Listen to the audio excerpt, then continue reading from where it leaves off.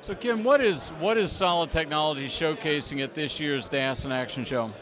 Uh, we're really focused on two key areas. One is a technology and a program we call Game Changer, which is really designed to create a true neutral host Wi-Fi capability.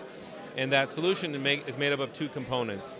One is an advanced optical architecture using DWDM PON technology, and the other is a high security access gateway that allows for a true neutral capability. We tend to call it a parking spot.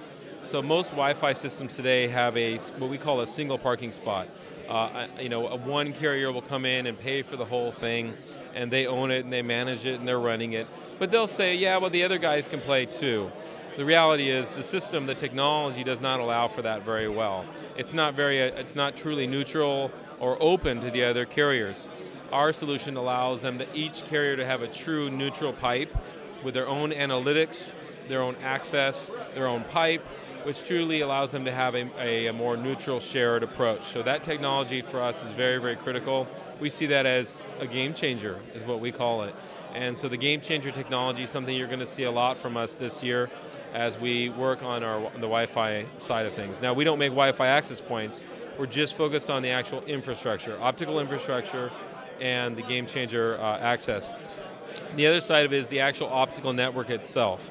Um, we believe that the traditional uh, multi-layer switch network is essentially um, slowing slowing things down. The pipe's not big enough to be able to handle the number of services and the things that are going on in these systems. So what we've done is we've developed a new infrastructure called Infinity Access that we've adapted for the game changer topology that allows us to put fiber closer to the end user devices and allows for a much more scalable solution. Um, in that we have bigger pipes, we have we can create larger pipes faster, uh, we can add additional pipes when needed, and we can add access points uh, to the system very quickly, uh, thus arriving at a much more scalable solution. Um, the, uh, the expansion of that is the ability to run the cellular services and the Ethernet Wi-Fi services on the same optical backbone. That's uh, you'll see a lot of that from us, where we're essentially, um, you know, a lot of people are asking, well, give me a DAS and give me a, an, an, Ethernet Wi-Fi solution. I want one infrastructure. Well, it's been a struggle for a long time for that to happen.